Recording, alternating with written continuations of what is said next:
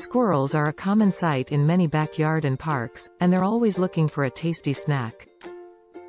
But before you start feeding them, it's important to understand the best ways to do so.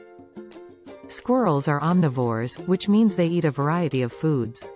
They love nuts, seeds, and fruits, but they'll also eat insects, berries, and even some vegetables. When feeding squirrels, it's best to avoid giving them bread, crackers, and other processed foods. These foods lack the nutrients squirrels need to stay healthy and can also attract other unwanted animals. The best way to feed squirrels is by offering them natural foods, such as nuts and fruits.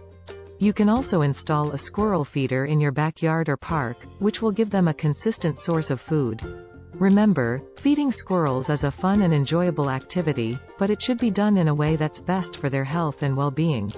So, go ahead and enjoy feeding your backyard friends, but be sure to do it responsibly.